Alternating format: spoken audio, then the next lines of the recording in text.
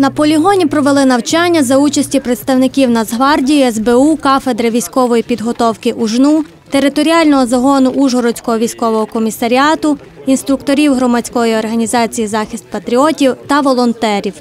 Е, У нас сьогодні розгорнуто 5 навчальних місць.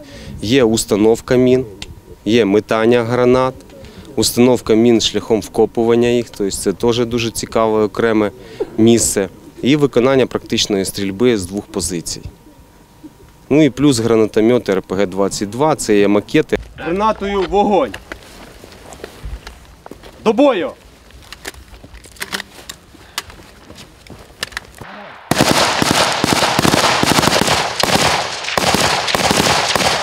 Представники громадської організації Захист патріотів вчили солдат, як надавати першу домедичну допомогу на полі бою. Зараз ми проходили накладання турнікету е, під час бойових дій. Тобто, коли у нас іде активний обстріл з ворожої сторони, ми не проводимо медогляд, ми не проводимо дихання, нічого, ми маємо накласти жгут і втікати. Але перше, що ми робимо і завжди пам'ятаємо, це відповідний вогонь. У мене є можливість прийняти горизонтальне положення, щоб зберігати довше тиск в голові.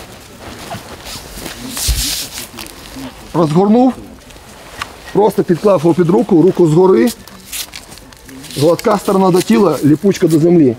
Вороток влучив, зібрав. Що робити далі, те саме ви бачили вже. Взяли участь у навчанні студенти другого курсу військової кафедри УЖНУ та частина викладацького складу. П'ять навчальних точок. На першій з яких ми побували, це установка мінного поля. Нас правильно навчали, як встановлювати противотанкові міни. Зараз у нас е, зборка і розборка автомата.